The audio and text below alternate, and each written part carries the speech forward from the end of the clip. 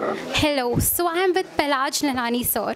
So sir, how has been your experience at Marwa Studios?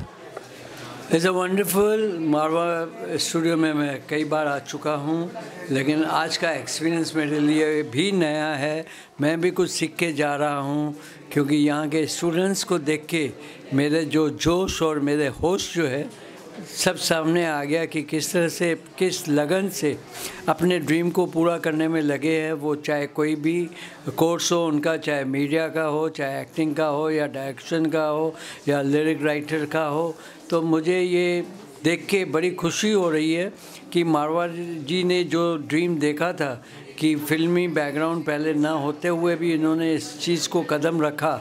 और नोएडा में ये film अपना इंस्टीट्यूट खोलने का जो एक नींव रखा वो आज फल फूल के बड़ा हो गया है और मतलब डिफरेंट डिफरेंट कंट्रीज़ से जो है, लोग आज इवन फ़िल्म फेस्टिवल में भाग ले रहे हैं। सेवेंटी कंट्रीज़ से उनका एमओयू हो गया है कि किस तरह से जो ना, उनका कल्चर और हमारा कल्चर कंपटीशन का जो है आज दौर है। आज दुनिया करो मुट्ठी में। आज हर चीज़ अवेलेबल है आपके हाथ में मोबाइल में। स्मार्टफ़ोन के ज़रिए जो ना, हर चीज़ आप देख सकते हो। तो हर सिनेमा हाथ में फ़ोन लेके तो देख ही सकते हैं। लेकिन उनका पर्सनल एक्सपीरियंस और हमारे जो है इंडियन फ़िल्म इंडस्ट्री कितनी फल फूल रही है दूसरे कंट्री में और उनका प्यार और उनका जो भाव है इंडियन फ़िल्म में और ख़ास करके हिंदी सिनेमा में, जिस तरह से वो सॉन्ग्स और एक्टर्स को जो ना अप्रिशिएट कर रहे हैं और जिस तरह से उनका जो है ना लगता है कि ये इंडिया से हम जुड़े और इंडिया का कल्चर जो है एक हेरिटेज कल्चर है जिनको मतलब माना जाता है, उनको एडॉप्ट किया जाता है तो बहुत से चीज़ें, लोग तो बाकी दूसरे धर्म से जो है ना कन्वर्ट हो जाते हैं, लेकिन इंडियन कल्चर को जो वो एक अपनाते हैं, जो प्यार देते हैं, वो सिनेमा ही है, जो सिनेमा आके उनको जो ना नज़दीक लाती है और हमारे साथ जो ना काम करने के लिए जुड़ जाते हैं और वो दिखाना चाहते हैं कि हम भी जो ना कम नहीं हैं और कंपटीशन जो हेल्दी कंपटीशन जो है वर्ल्ड को देखने का मौका मिलता है।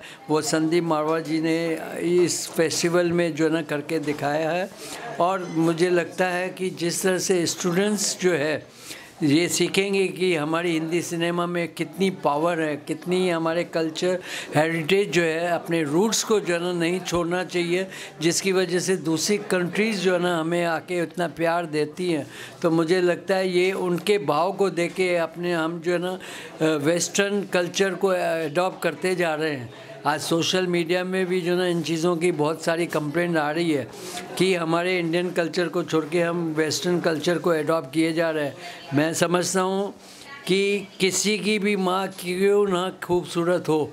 लेकिन अपनी माँ तो अपनी होती है, उसको जो प्यार देना चाहिए, वो उसको उतना मिलना चाहिए। तो वो हम अपने रूट्स को छोड़ते हुए कितनी भी मॉडर्न फ़िल्म बनाए, जिस तरह से क्रिकेट में बदलाव आया, पहले टेस्ट मैच होती थी, बाद में जो है फिफ्टी ओवर्स की मैच आ गई, बाद में बीस की आ गई, अब छः की आएगी, बाद में पता चला तीन तीन ओवर में होगा। तो फ़िल्म भी उतनी फास्ट भाग रही है और फ़िल्म भी लोगों के पास पेशेंस नहीं है टाइम नहीं है, क्योंकि हर आदमी वर्किंग है। हर आदमी की अपनी रोज़ी रोटी कमाने के लिए इतनी लाइफ में टाइम नहीं है बट एंटरटेन भी होना है। तो they want life should be go faster and वो दौड़ रहे तो दौड़ के बीच में हम अपने रूट्स को कई बार जो है ना फ़िल्म मेकर भूल जाते हैं।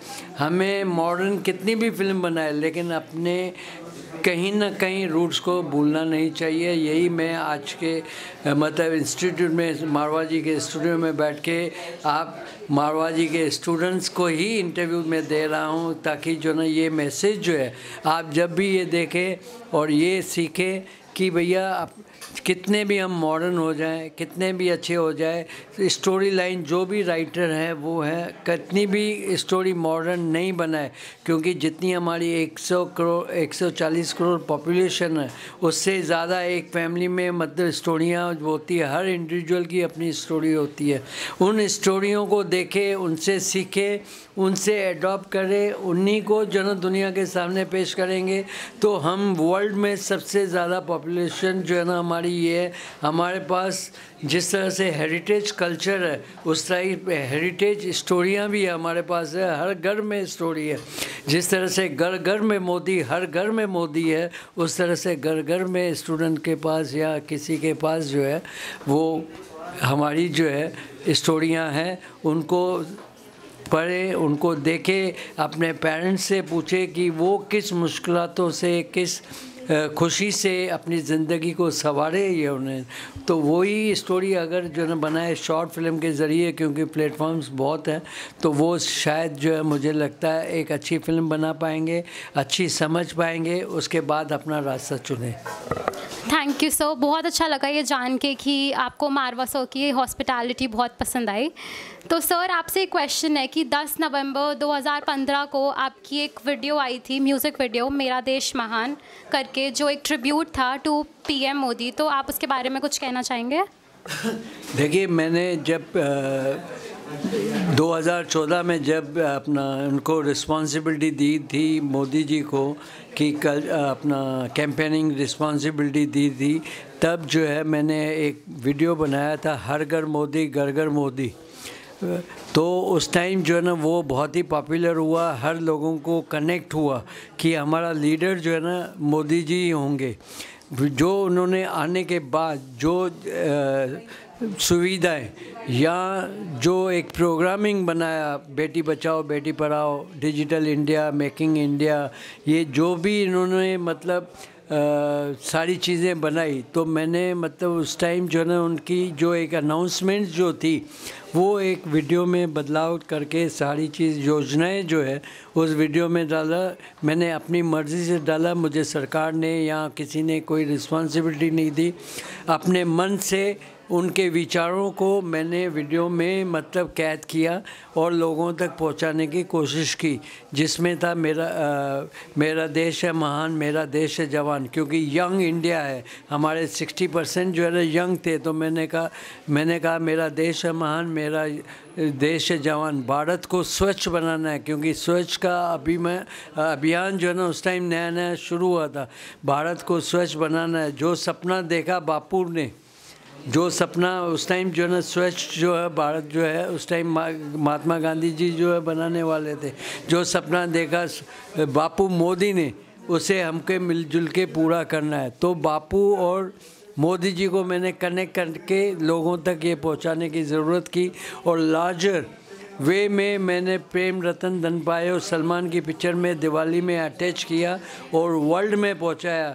तो ज आज न सिर्फ़ इंडिया में क्योंकि उस टाइम जो है ना मैंने मतलब इनको एक आ, 2014 में एक अपना कै, कैप्शन दिया था कि अपना किस तरह से ग्लोबली ये लीडर बनेंगे और किस तरह से ये बनेंगे जो मेरे यूट्यूब चैनल में आ, अपना वो डेट के साथ में अटैच है ऐसा नहीं कि मैं आज बोल रहा हूँ लेकिन उस टाइम था कि वर्ल्ड लीडर जो है मोदी जी बनेंगे और वही चीज़ मैंने मैं उसमें जब बन गए लोगों ने इतने पॉपुलर हो गए तब मैंने मेरा देश मान मेरा देश जवान में उसको अटैच मैंने किया और उनके काम जो योजनाएँ बनाई थी लोगों के सामने प्रस्तुत करने की कोशिश की।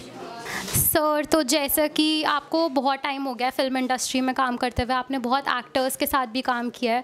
और हमने पढ़ा था कि आपने गोविंदा सर को भी ट्रिब्यूट मतलब डेब्यूट दिया था। तो who is a very renowned actor right now तो आपको कैसा लग रहा है ये देख के? देखिए, मैंने सिर्फ़ गोविंदा को इंट्रोड्यूस नहीं किया। मैं 1964 से फ़िल्म इंडस्ट्री में हूँ। डिस्ट्रीब्यूशन पहले मैंने की थी 1964 से लेकर 78 तक। 78 में मैंने प्रोडक्शन की। आज तक जो है मैंने अभी लास्ट वीक में मैंने अनाड़ी पिक्चर रिलीज़ की। उसमें भी न्यू कमर थे नवाब खान और मिशिका चौरसिया जिसमें आ, मतलब वो 157 पिक्चर थी जो मैंने डिस्ट्रीब्यूट की थी। अभी तक मैं 25 पिक्चर बना चुका हूँ अपने प्रोड्यूस कर चुका हूँ। और मैंने गोविंदा चंकी पांडे सुनील शेट्टी अपना दिव्या भारती, नीलम, बहुत से technician David Dhawan Anees Bazmee writer choreographer Vaibhavi Merchant हो या अपना बी एस तरुण कुमार हो, बहुत से लोगों को अकबर बख्शी जो फाइट मास्टर थे तो बहुत सारे कैमरामैन बहुत सारे टेक्नीशियंस को भी मैंने मतलब जो ना इंट्रोड्यूस किया है। क्योंकि मुझे लगता है कि न्यू कमर के साथ काम करने में मुझे मज़ा आता है और सहूलत होती है। जो वो लोग सोचते हैं, मैं वो सोचता हूँ, दोनों हमारे पास टाइम होता है तो हम लोग मिल के because this is a team work और जिसके पास कॉमर्शियली जिसको सोचने का जो है मौका ना हो, अपने काम पे ध्यान ज़्यादा दे, क्योंकि मैं जो सिर्फ़ कॉमर्शियली सोचता है, उसके साथ काम करना मुझे मुश्किल लगता है। जो एक टीम में डेडिकेशन करके अपने ड्रीम को पूरा करना चाहता है, मैं उनके साथ काम करता हूँ। इसलिए मैंने इतने न्यू कमर्स को जो है साथ काम किया। उनकी लक ने या मेरे काम ने या उनकी मेहनत से, उनके टीम वर्क से चला, वो मुझे नहीं मालूम है कि हर इंसान के करियर में अप एंड डाउन्स आता है लेकिन साथ देने के लिए वही होते हैं जो साथ में काम करते हैं। Okay thank you sir so at last sir आप क्या मैसेज कन्वे करना चाहेंगे हमारे स्टूडेंट्स को? और बहुत सारे बच्चे ऐसे हैं जो फ़िल्म इंडस्ट्री में इंटर करना चाहते हैं लेकिन वो घबराते हैं क्योंकि ऑब्वियसली बहुत सारा बहुत सारी मुश्किलें भी आती है इस रास्ते में। तो आप उनको क्या एक इंस्पिरेशन आप देना चाहेंगे? देखो आपने जितने स्टूडेंट्स यहाँ पे आए, वो अपने ड्रीम को लेके आए हैं। और जब ड्रीम लेके आए तो उसको पूरी करने की पूरी कोशिश करो। कहते हैं ना, जो अमजद खान का पॉपुलर डायलॉग है, जो डर गया, सो मर गया। तो ना डरिए, ना मरिए। जिस काम को आप लेके, सोच के आए हो, अपने पेरेंट्स का हो, या अपना पैसा हो, मेहनत का हो पेरेंट्स ने आपके ऊपर जो है खर्च किया है तो उनके भी सपना जुड़ गया। उसके सपने को भी जो है आप पूरा कीजिए। जो आपने उनको सपना दिखाया तो ये एक सपना नहीं है, पूरे परिवार का सपना है जब आपको एजुकेशन के लिए कहीं भी भेजते हैं। तो ना डरिए, ना मरिए, कीजिए। रास्ते पे बहुत से कांटे आते हैं, लेकिन कांटे ने अगर जो है निकाला नहीं आपने तो आपका जो है वहीं रुकावट आ जाएगी तो आप कांटे निकालते जाइए जो ज़िंदगी में आएँगे नसीब से बड़ी कोई चीज़ नहीं है और मेहनत से बड़ी कोई नहमियत नहीं है तो आप मेहनत कीजिए और नसीब को बदलने की कोशिश कीजिए Thank you so much, sir, for your kind and motivational words. With video journalist Nakul Toma, Isha Gupta, AF 24 7.